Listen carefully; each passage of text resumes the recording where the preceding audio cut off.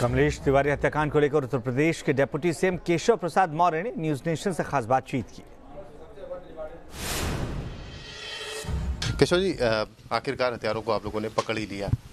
निश्चित तौर से यह एक बड़ी उपलब्धि है बड़ी सफलता है। और उत्तर प्रदेश और गुजरात पुलिस दोनों के संयुक्त प्रयास का ये परिणाम है। और दोनों राज्यों में भाजपा की सरकार है।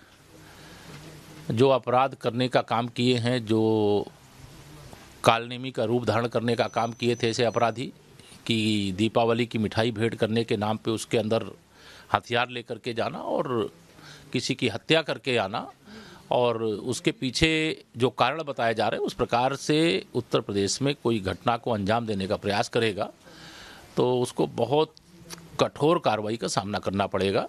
अब ये गिरफ़्तार हो चुके हैं। अब कानून के दायरे में जल्द से जल्द, कठोर से कठोर इन्हें सजा मिले। सही मायने में वही कमलेश तिवारी जी को सच्ची श्रद्धांजलि होगी।